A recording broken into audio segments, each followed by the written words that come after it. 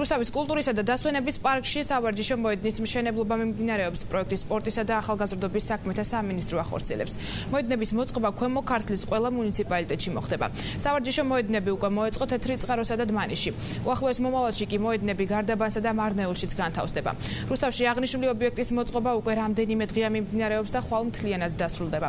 კულტურისა და დასვენების პარკში მოედნის მშენებლობისთვის 17000 ლარი დაიხარჯა. რაც ყველაზე მნიშვნელოვანია, მოედანი ადაპტირებულია შეზღუდული შესაძლებლობების მქონე პირდათვის. სამუშაოების მიმდინარეობის პროცესი დღეს ქვემო ქართლის გუბერნატორმა პატა ხიზანაშვილმა დაათვალიერა და მსგავსი ტიპის ობიექტების არსებობის მნიშვნელობაზე ისაუბრა.